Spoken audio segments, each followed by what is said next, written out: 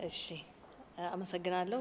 ዛሬ እንግዲህ እዚህ የተገኘ ነው ክቡር ጠቅላይ ሚኒስትር ዶክተር አብይ አህመድ እና ክብርት ቀዳማዊት እመቤት ወይዘሮ ዝናሽ ታያቸው የደም የመስጠት ፕሮግራም አድርገው ነበር።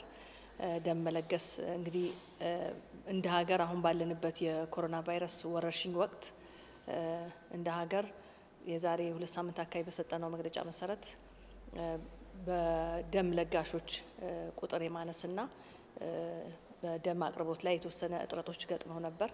እንግዲህ እንደሚታወቀው ይህንን ኮሮና ቫይረስ ለመከላከል